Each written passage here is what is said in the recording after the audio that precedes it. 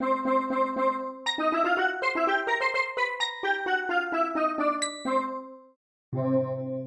to know what's worse than advertising? Being someone who advertises. Anything worse than that? Well, being blamed for advertising when you aren't advertising. Two days ago, it was April Fool's Day. And one of the funnest parts about April Fool's Day on the internet is clicking links and hoping that you don't get rickrolled. So when a scratcher posts an April Fool's project and someone puts a YouTube link, is it more likely that they'll be A, advertising a video they made on YouTube on Scratch for some reason, or B, trying to rickroll someone? Obviously, B. You don't advertise your YouTube videos on Scratch. And if you do, who are you? It pains me to see comments on April Fool's projects with rickroll links being told to stop advertising. They aren't advertising, it's a link. Advertising and linking something are not directly related. You might be defending yourself, if you're one of those people, by saying, well, I'd click the link to make sure it's not advertising, but if I do, it'll give them views.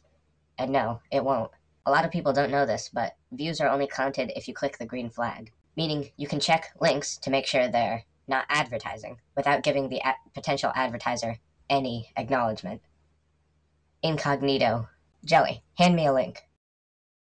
Now, the first thing you should do if you're going to post a YouTube link in Scratch that's a Rickroll is make sure you use the official Never Gonna Give You Up song by Rick Astley.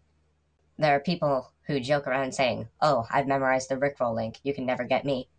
And yeah, if you use the official video and someone recognizes the link, then you won't be blamed for advertising because they know it's a Rickroll. Guess who wins in that situation? You do. Using one of those link disguisers automatically makes you infinitely more suspicious because it could be you advertising your YouTube video for some reason. Who knows? It's like walking into a bank with a ski mask on. You don't walk into a bank with a ski mask on. For those of you who want to use this trick, the first four digits of the Rickroll code are DQW4. So if you see a YouTube link that starts with DQW4, they aren't advertising a YouTube video. They're just trying to trick you. And if you're one of those people who reports advertisers in your free time because you have nothing else to do, and a link starts with DQW4, don't report it. It's not anything to be worried about. But then again, most people who report advertisers are like eight years old and probably don't have the detective skills needed to decipher a link. So it's probably best to not rickroll people on Scratch. It's not a very safe environment for the prankster or the person getting pranked because you might just get reported, and that's just dumb. So, in conclusion, as most of these end, advertising bad. There, I said it. Those two words could have been the entire video, and it still would have been worth your time. In a more traditional conclusion, if you're going to prank someone on Scratch, be sure to use the official Rickroll link and not disguise it at all, because that's suspicious. That's all I have, though. Bye.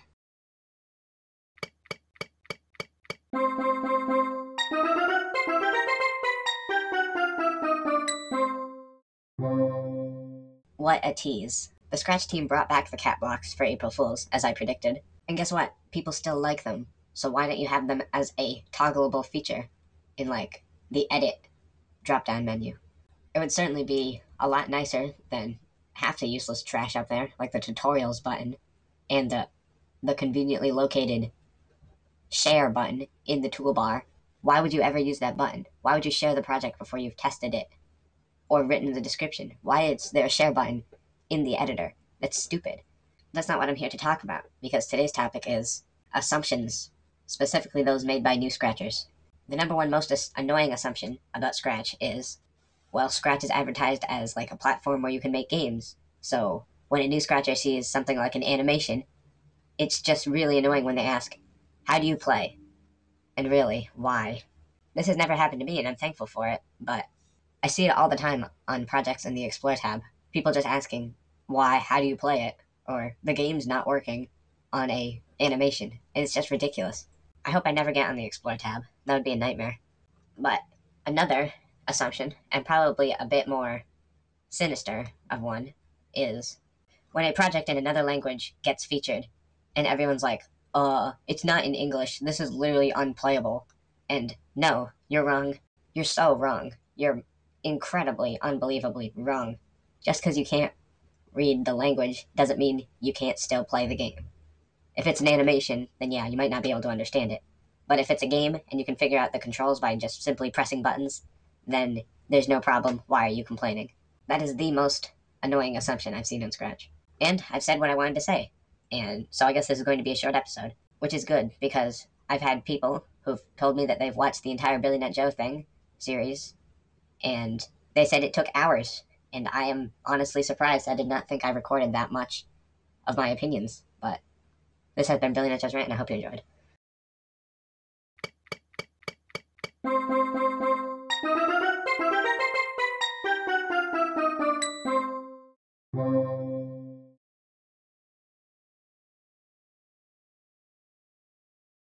Haha, yes, finally. I knew I'd beat that squirrel to the park if I woke up early enough. And by waking up early, I mean not sleeping at all. Totally worth it. Trust me on that one. I've been waiting a long time for this opportunity. But seeing that we're both here, I might as well do something that that squirrel hasn't done in a while. Checking his suggestion studio. And I can definitely see why he hasn't checked them. There's literally nothing here.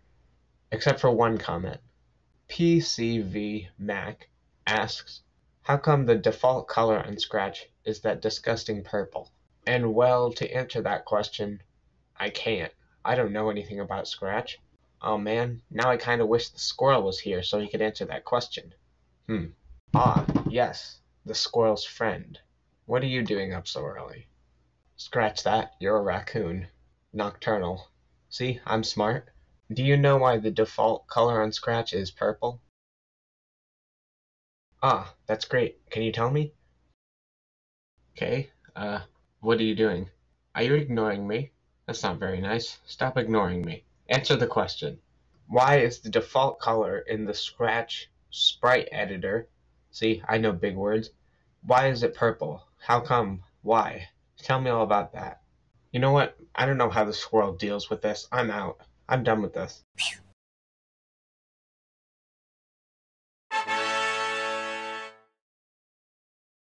Hello, today I'm going to be talking about. Actually, you know what? There's not enough visual distinction in these.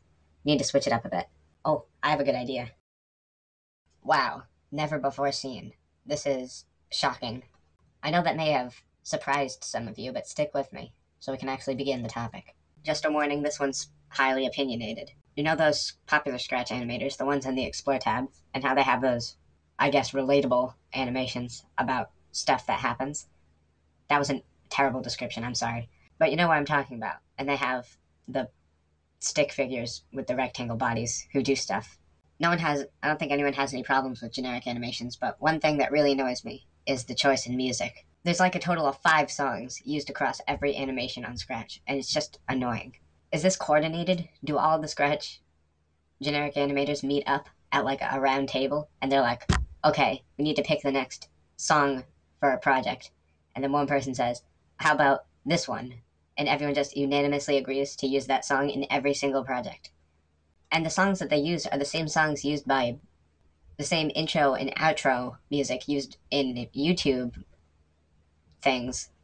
And I'm pretty sure that those YouTube people only use those songs because they're not copyrighted or something like that. I don't know.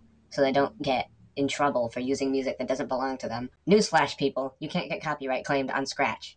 You can't make money on Scratch. There's no point of that. So stop being so afraid to use actual music for your intros and outros, and stop using this do do do do do do do do boring trash music. But then again, I can see why you'd use it. Because if Popular Scratcher A uses that music, and you use the same thing, then people who view the project might be like, oh, this guy uses the same song as Popular Scratcher I know, so that must mean that they're good and I should follow them. I'm sure that doesn't happen, but it may be a point. I'm having trouble coming up with a counterclaim for myself because I just don't see any use in using these songs. Ever. Oh, I guess another point could be that people don't know how to add music into Scratch, and so they just backpack that music, generic music, from the Scratch animators into their own projects. Well, here's how to add music to Scratch. Listen up, this is very important. So step one, you find a URL to MP3 converter website. Step two, copy and paste the link to, a, to the YouTube video with the music that you want to use. Step three, press the download button. Step four, upload the song into Scratch. It's that easy. So if people just don't know how to do that, and that's why they use the songs, then they should probably learn how to use that so they don't have to use the songs. But then again, I could be the stupid one here, and the songs, people actually enjoy those songs. But I'm pretty sure most people don't appreciate people using the same song over and over again. You know what? I think standing on the right side of the screen makes my arguments less valid. That's probably why you always stand here, because you don't talk, and you don't have any arguments to make valid. I think I just discovered the magic of screen side argument validations. What am I saying? Here's what I'm saying. I'm saying I should go back to the left. This has been Billy Nut Joe's Rant, and I hope you enjoyed.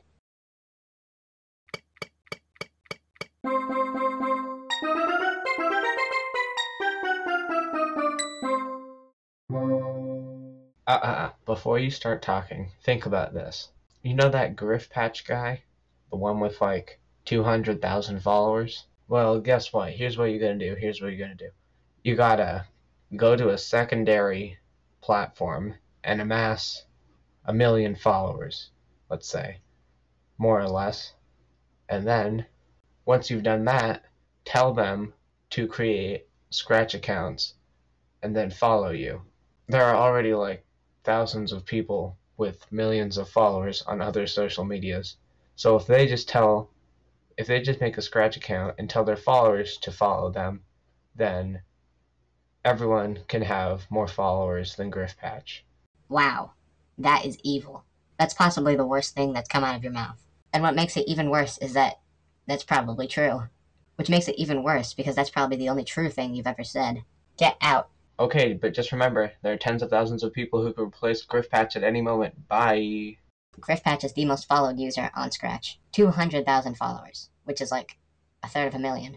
As far as I know, he's always been the most followed person on Scratch. But why? Well, because most of the people on Scratch are not concerned with followers. If they really were, then they could probably do what Supernova was talking about, but who would actually pull a scam of that level just to get more followers than some guy on Scratch? That's ridiculous. But it is possible. And a problem with that strategy, I guess, is now you have a million followers on Scratch, but guess what? Most of the people only created an account to follow you, so you won't actually have any followers, really. They'll just be a bunch of. You'll have a high number, but no one will actually view your projects. You know what I'm saying? Plus, I'm sure everyone will be angry if someone actually did that in real life, because they don't deserve it. They really don't. And if anyone ever actually does do that, don't blame me. Blame me instead. I take full responsibility.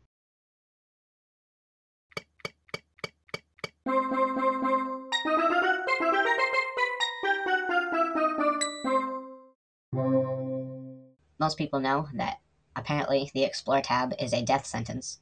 Most projects that aren't by popular scratchers on the Explore tab get reported for no reason. But that's not what I'm talking about. If you want my opinion on false reporting, here it is. Two words. It's stupid. But what I'm really here to talk about is that I've seen some rant projects on Explore tab recently.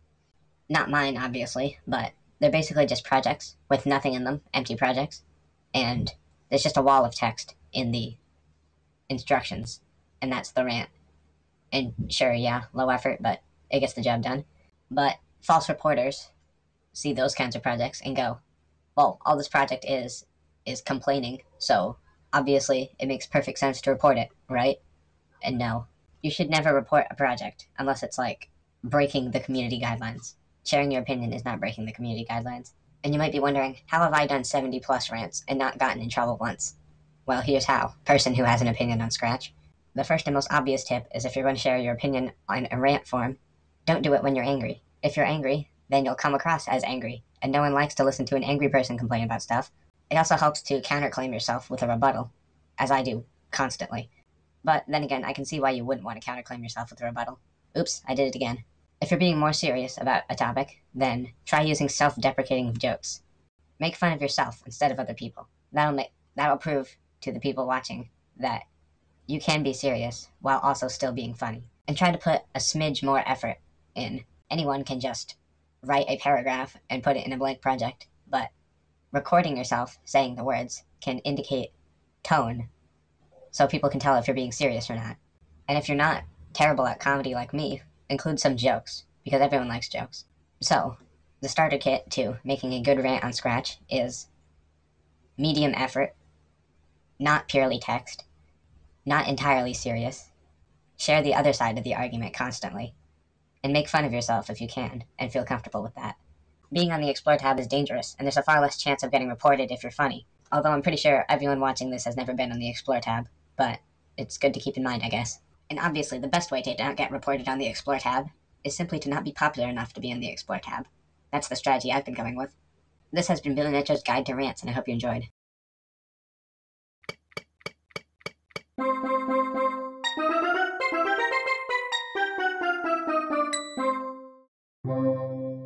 Last time I talked about the built-in Scratch tutorials, I only briefly covered a few of them, but now I'm going to give my opinions on every single one, just like I did for all the extensions. The first tutorial is called Getting Started, and it literally just says, add a move block, add a say block, and then the tutorial ends. Great tutorial. The next tutorial is one of the most iconic tutorials, Animate a Name. And it just says, create a bunch of different sprites with letters that spell out your name, and then make them spin or change size. Which is not only a terrible way of going about Scratch, because everyone knows that having one sprite is better than having like five. The next tutorial is called Imagine a World, and it's actually a decently long one. It has a bunch of different stuff like how to use the say block, which in my opinion should never be used. It's terrible. And tragically, even the Scratch team advises using the hat blocks that say when key is pressed, even though using those kinds of blocks makes your controls incredibly terrible, and you should almost always use a looping if statement. So if left key is pressed, not a hat block that says left key pressed. Because that's dumb. That means that you'd have to constantly, if you use the hat blocks, you have to constantly press the left key in order to activate the script, while as the forever loop makes it move when you're pressing the left button, so you don't have to be constantly pressing the left button. The next tutorial is called Make Music, which is basically the same thing, but instead of the say block, it uses the sound block, and it still uses the control hat blocks. This is infuriating. Please stop telling people to use them. The next one's called Create a Story, and is basically the same thing as Imagine a World. After that is Make a Chase Game, which not only uses the control hat blocks, but also uses the glide block for collision. The glide block doesn't work for collision. Newsflash. These tutorials are so poorly put together and so pointless that if you showed one of these tutorials to someone and said, This is why I like Scratch, they'd be like, Why do you like Scratch? Tell me a real reason. The next two are fairly straightforward animate a character, which, yeah, sure, I guess people need to know how to do that, and make a clicker game. And yes, everyone totally enjoys cookie clickers, so let's just encourage more. After that, we have Make It Fly, which is about using variables as score.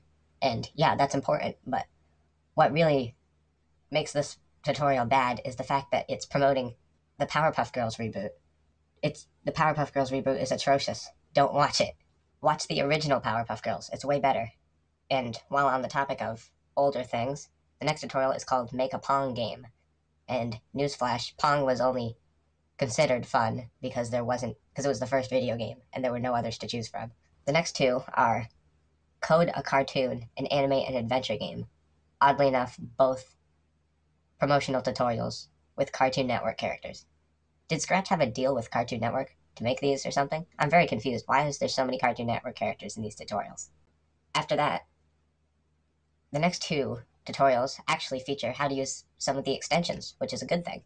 There's video sensing, which can be confusing to some people, but then again, if you don't have a webcam and use that tutorial, you're kind of in the dark because you can't use the extension without a webcam. And then there's even a tutorial on the text to speech, which, sure, lots of scratchers use text to speech. This is actually, it's good that they're teaching people how to do this. Finally, we're finding some decent tutorials. After those decent tutorials, we have a bunch of super simple, and you, everyone should know how to do these tutorials, like adding sprites, adding backdrops, changing size, using the glide block. Blah! Don't use the glide block. And recording sounds, which, how long can that tutorial be? All you have to do to record a sound is click the record sound button. These tutorials are, I think they're in backwards order, because the rest of the remaining five tutorials are just as simple, using the spin block, the hide and show block, basic animation, arrow keys, and graphic effects. Everyone should know how to use them. It's literally a, every single one of these tutorials covers a single block. How, what's the need for a tutorial? And that's every Scratch tutorial in depth. Well, I say in depth because it's more in depth than last time, but still not very in depth. I may go on to talk about the psychological impact of these tutorials on the human mind. But spoiler alert, they wouldn't be very positive. I say, if you have a sibling who wants to start Scratch, teach them yourself, because Scratch doesn't know itself very well. You do, though. So, yeah, this has been Billy Nut Joe's Rant, and I hope you enjoyed.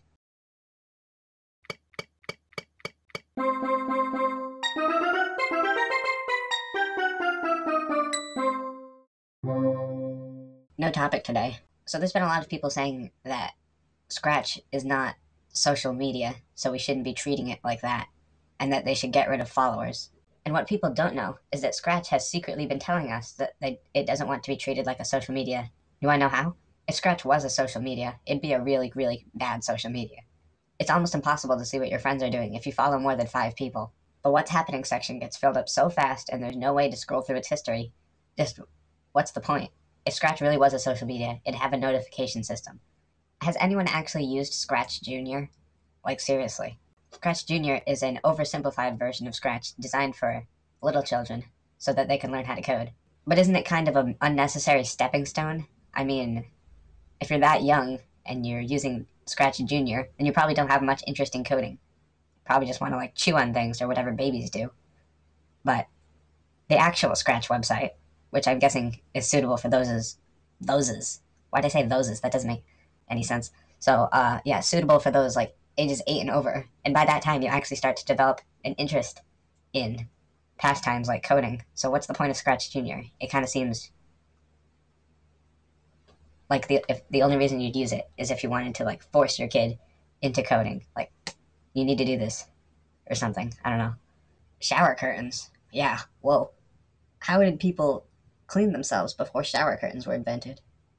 Did they take baths? Probably.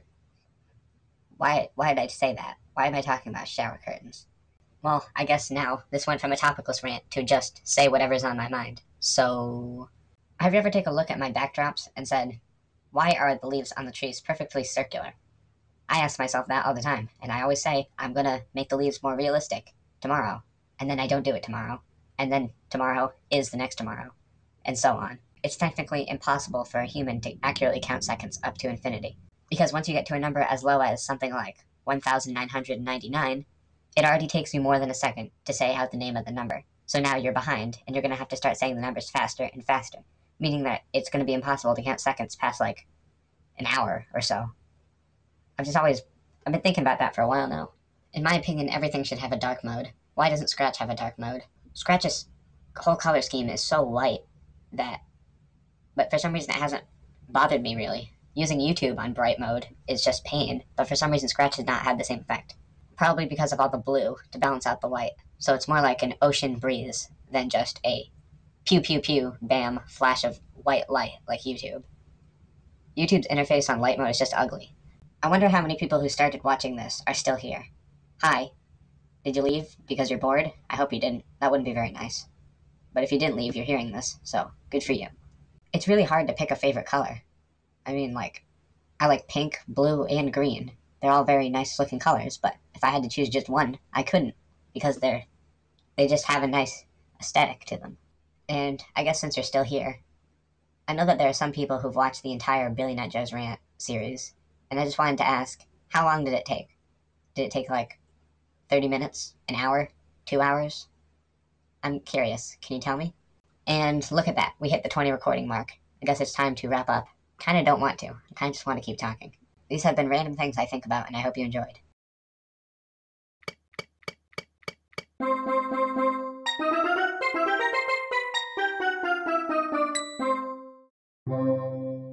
Remixing is a feature on Scratch.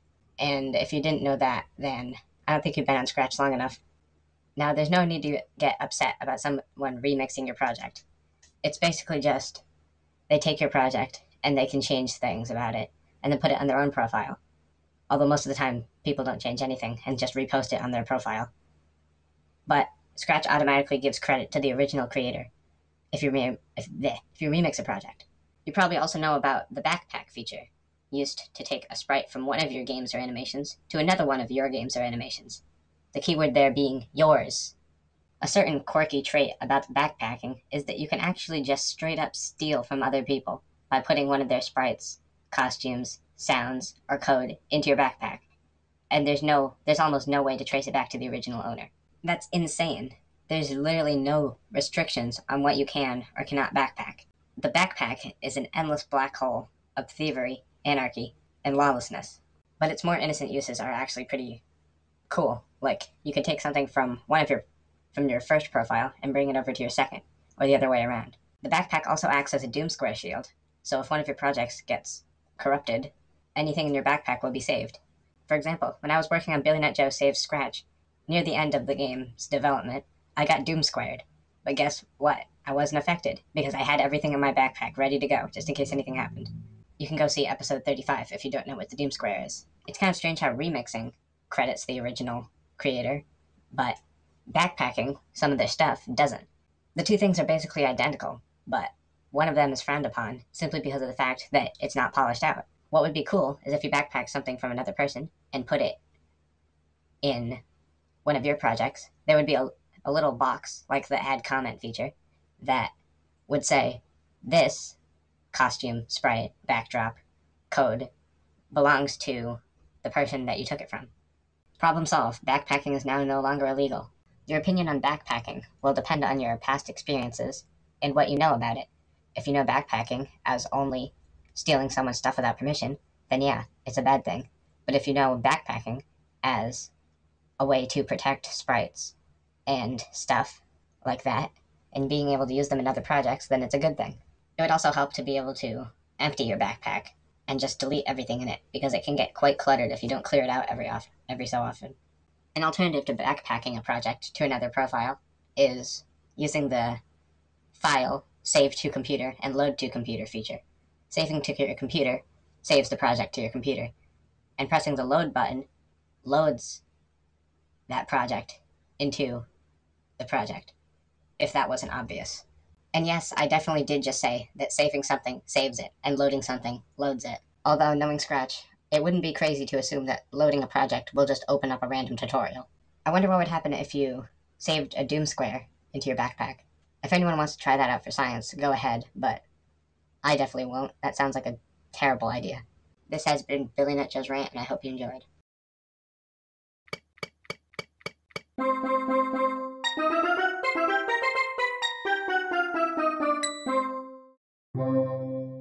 Ah, what a nice and beautiful day. Nothing out of the ordinary or cataclysmic will happen in the next 24 hours. You see, I'm saying that so it wouldn't catch me by surprise, because when people say things like that in cartoons, it always happens. But seeing as today is a beautiful and normal day, that won't happen. Hey Squirrel, I just thought it would be neighborly to inform you of the incoming cataclysmic event. I myself am not phased by such an event, for it is finally a time to prove myself worthy of being an actual superhero. It might be difficult getting people to accept that you're an actual superhero when somehow, miraculously, you know about this disaster event before it even happens. That's a bit suspicious. I'd say this is all your idea. I'd say the only suspicious thing is the fact that you haven't heard about this yet. It's all over the news. Here, look. Let's see about that. Ah, on the front, it says, Disaster event imminent, take shelter now. Hmm. Well, that seems a bit much. Who would go through with something like this? And even if this is true, which it very well may not be, how are you going to stop whatever's going to happen from happening? By using my awesome lightning powers, of course. First of all, there are very little disaster events that would actually be affected by lightning. That doesn't make any sense. And second of all, even if it is some sort of giant robot or something, what if it has a electrostatic deflector? Then what? Oh, come on, Mr. Realistic. What are the chances of the disaster event being a giant robot that can somehow deflect lightning. Ah, yes, finally, it is time to release my giant, lightning retardant robot. Oh, fine, our giant lightning retardant robot. Oh, fine, your giant lightning retardant robot. You know, they often gloss over the fact that it's quite difficult for the bad guy to get the evil scientist to actually work on the project. You have to give me some credit. I did design the thing, though couldn't build it because of the fact I have stupid orange tentacles for arms. But that's enough rambling. Release the giant robot. All you have to do is press that red button It's red because it does something bad. Alright, so if it is going to be a weather event, like you say, then it should be coming from this way. If it was a weather event, how would someone be able to threaten us with it? You can't control weather. Sure, you can use forecasts if you're a meteorologist, but those are not always accurate because of the fact that weather is always changing. If the bad guy is going to threaten us with a disaster, then it's probably going to be a man made one. Um, well, on the plus side, I was right. Oh, hi, giant weird monster thing. I was just wondering if you could at least pretend to go down at a couple of hits so I can look good. Well, that went about as expected. Hey, do you have any ideas on how to stop giant robot squids? Oh well, it was worth a try. Although it would be pretty weird if you did. Actually, yeah, I'd prefer you don't have any plans for robot squid attacks. That's being a bit too overprepared. Ah, great. The giant robot is functioning swimmingly. A lucky thing, too, considering we haven't tested it. Which, by the way, is another thing they often overlook in movies. How does the bad guy test out the giant, city destroying machines without anyone knowing? Seems unlikely. So, uh, how's your day going? What are you writing down on that clipboard anyway? Tic tac toe? Seriously? Can I play? Not sure why you'd do that. It was a pretty good offer.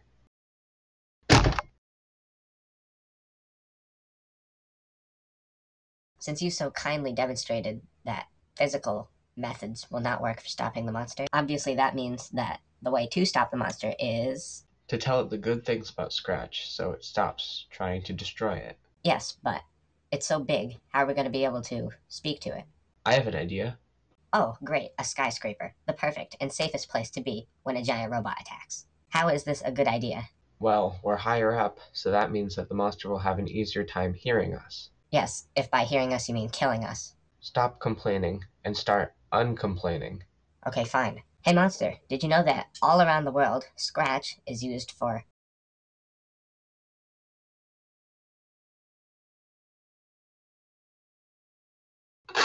Just what I thought.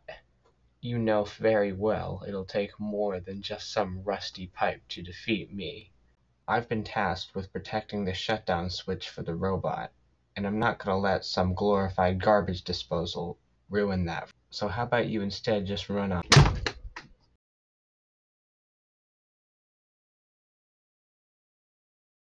Beep. Whoa, that actually worked. All it took to defeat the giant monster was the power of kindness. That's the kind of stuff you only see on TV. Oh, hi, the squirrel's friend.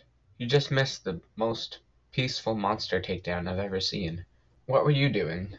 Because whatever it was, I'm sure it wasn't as interesting as this.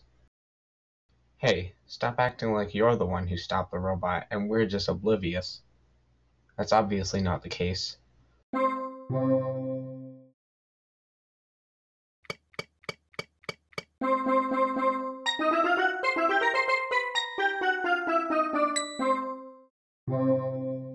If you've been on Scratch for a while, you probably know about the discussion forums. If you don't know how to get to them, well, I don't blame you. All you have to do is go to the Scratch homepage, scroll all the way down, and under Community, there'll be a button that says Discussion Forums. It's so hard to get to, but it's so useful. One topic caught my eye on the discussion forums called The Official List of Rejected Suggestions for Scratch. Today we'll be talking about blocks, new Scratch blocks that will never be added to Scratch because they've been rejected. The first rejected block is called Broadcast Received Boolean. Now, if you don't know what Boolean means, I don't blame you. I don't know what it means either. But a Boolean block is basically one that's shaped like this. You've probably used them before. I think that this block would be useful, but it was rejected because you can simulate its effects using the equals block somehow. I'm not smart enough to figure that out. The second rejected block is a counterpart to when green flag clicked that says when stop sign clicked. There's obviously a workaround to this because you've probably seen projects where stuff happens when you click the stop sign, but I personally am glad that this will not get added. This would easily be my least favorite block on Scratch if it was added because of the fact that when I click the stop sign of a project, it usually means that I don't want to continue watching the project. So if I click the stop sign and then the project keeps going, that's a bit annoying. While as the broadcast message received block was a bit complicated to work around, this next one is just lazy. Point towards sprite, boolean block. You can easily get the same effect with variables.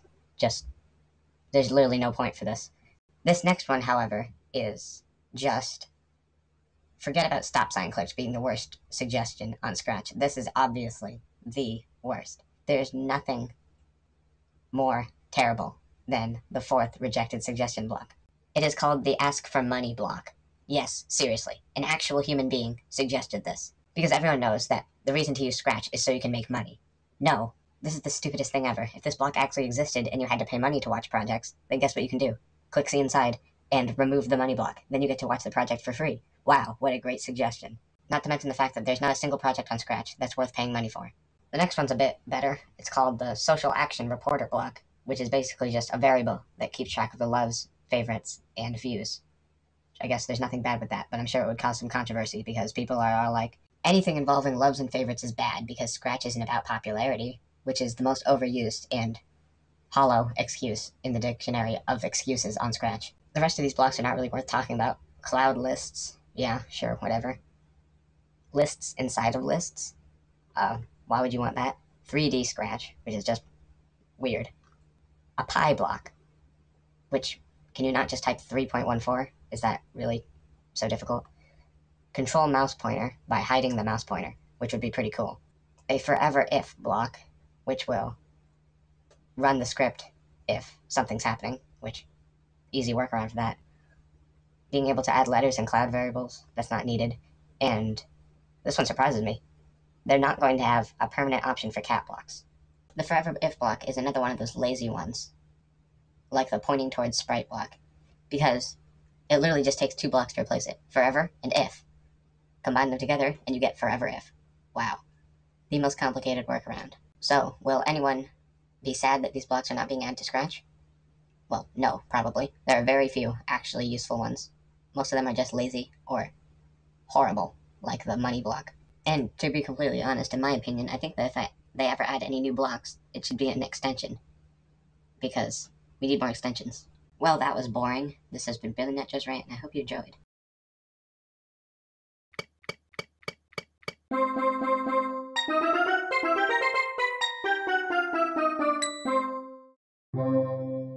So I checked the suggestion studio because I got a notification that there was an update. And the suggestion that someone posted was a bit strange. Ultra Ultimate Gamer says, I don't know why, but something that has to do with slime. Something that has to do with slime?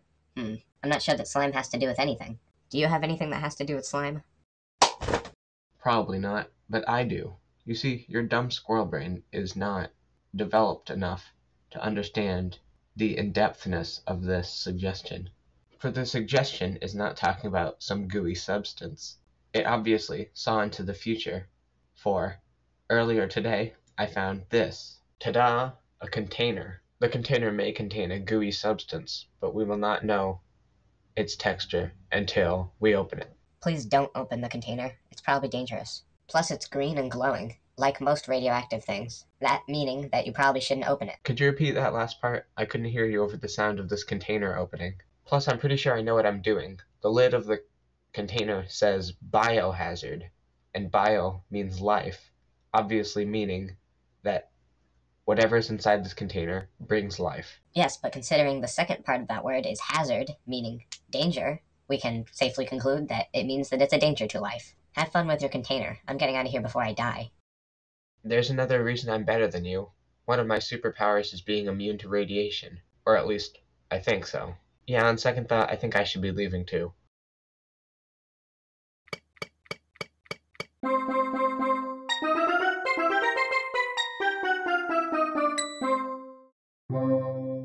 Alright, suggestion studio time. Imbecile Moose asks, How come there are imitation accounts? Well, I guess there are multiple reasons why there would be imitation accounts. The first one is that they want to trick people into thinking that they're the person they're imitating so that they get more followers, which is, I don't think would work really. Because who just follows someone based on their name? You'd obviously look at their projects, and if you see that they don't have, an, that the imitator doesn't have any of the actual person's projects, then you'd say, yep, this is not the real person. The second reason is that they really like that person and they want to be like them, which I'm not sure how having a similar username is being like them, but whatever. And third of all, they could be doing it as a joke, which is probably the most likely reason. Because I'm not sure if you've noticed this, but Scratch is not the most professional website. Wait, hold up. Didn't I didn't I do this before? I'm pretty sure I talked about impersonator accounts in the past. And I'm pretty sure what I'm saying right now is what I said before. Well, let's see what other suggestions are in the suggestion studio. Mass reporting, fame hungry people, fame hungry people, mass reporting. Um, yes, I get that those are problems on Scratch, but they're kind of boring problems. I mean, what else to say about mass reporting except for the fact that it's not good? Does anyone have a idea that hasn't been talked about before? Yes. Do you have any ideas? Me? Oh yeah, sure. I could complain about me for hours. I hate the fact that I always start with the same three poses. Dit, dit, dit. I hate the fact that I haven't made a new project in like two days. But you wanna know the worst part about me? Who actually likes squirrels? Squirrels are weird. Anyway, this has been Billy Nut Joe's rant about Billy Nut Joe's rant, and I hope you enjoyed.